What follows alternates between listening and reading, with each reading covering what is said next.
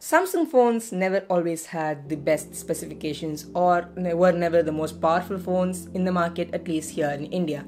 And in this current time of anti Chinese sentiments, people seem to be choosing Samsung over other manufacturers, and I wanted to figure out why. So I picked up the S10 and used it for a week, and here are my thoughts about it. And you can consider this my long term review of the Samsung Galaxy S10. So the first thing that immediately stood out in this device is its build quality. Now, this is a well built device. It has a glass sandwich design along with stainless steel bands on the edges and it just feels premium. It, ha- it has a weight, it has a heft to it, and is a dense phone, and it feels like it can take a beating. And yes, it did. It was dropped many times, and it has not developed any major scratches. Oh wait, I should put on some B-roll here, right?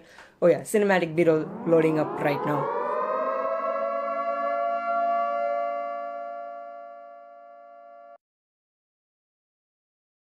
Haha, got him.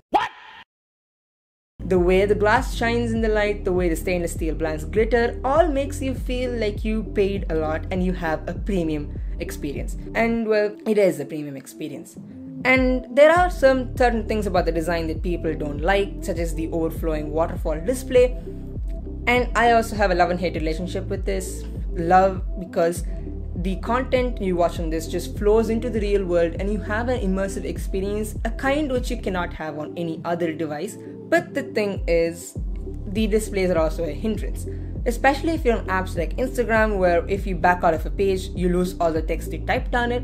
The Samsung's gesture navigation has not been the most user friendly.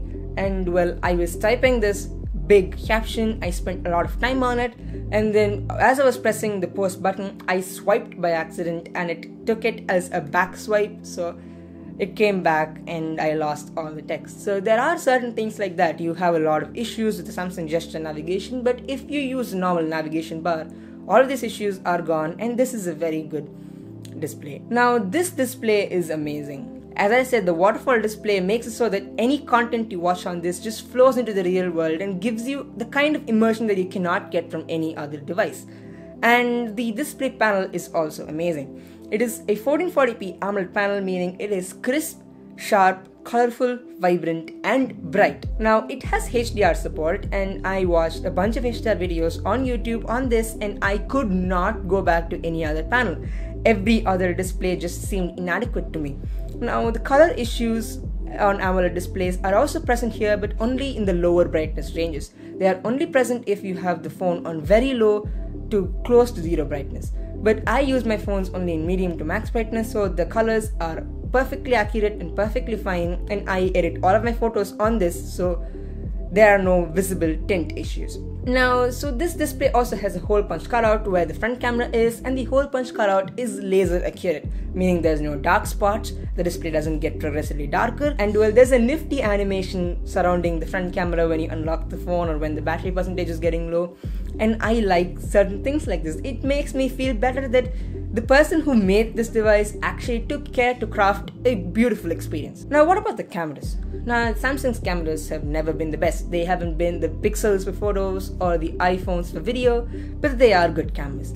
Now, it has three cameras, all three of which are useful, unlike other phones which resort to marketing gimmicks and give you sensors like time of flight sensors and macro cameras. All three sensors here are a wide angle, a normal camera sensor, and a telephoto 2 times sensor. And well, all three are amazing. If you want to see this camera in use on a video, you can tune in and watch my earlier videos from January and February because those videos were shot on this exact phone. Now, I use the Filmic Pro app and it works wonders for this phone. Now, this sensor has good dynamic range, has good color accuracy, and just reproduces any scene you throw at it with relative ease. Samsung camera app also has nifty features like portrait mode and night mode, which take these photos to the next level. Now, one gripe about this is that you cannot use telephoto camera outside of the stock camera app. That is, if you install any third party camera app, you only have access to the normal lens and the wide angle lens. And I feel this is a small issue and that I don't like this, but it's a given trade off. And, and well, you can always zoom in from the normal sensor to get a two times crop and it's not that big of an issue, but it would have been better if we were able to use the 2x lens on third party apps. And the Samsung camera app also has a pro mode, but it's also limited to the main camera sensor. So if you want any other field of view, you are going to have to attach extra lenses to this phone and it just becomes bulkier. So yeah, so this is not the best camera, nor is it a bad camera. It is a good camera and can capture anything you throw at it with relative ease, and the images will turn out good. Even after a year and a half of heavy usage and with continuous fast charging, this phone still lasts me a day and a half. And one of the main reasons is the AMOLED display, which can turn off pixels when you're not using them. So there are optimizations done, and this phone lasts quite a bit.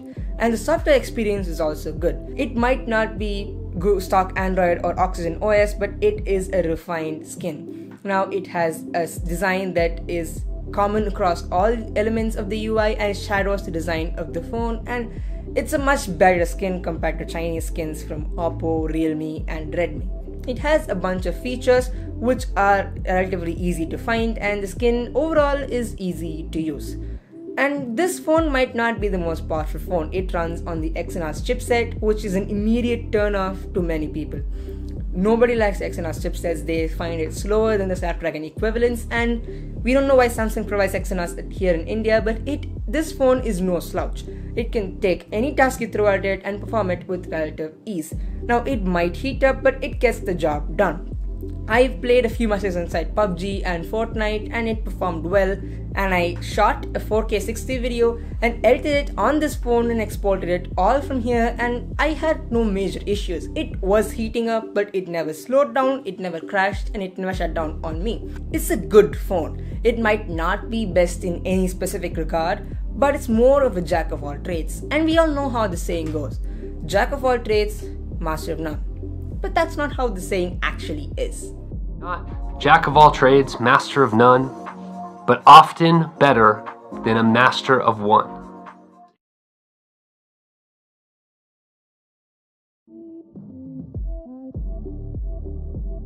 So with that, I conclude the long-term review of my Samsung Galaxy S10 and I'll see you guys in the next month with a special video hitting your screens pretty soon.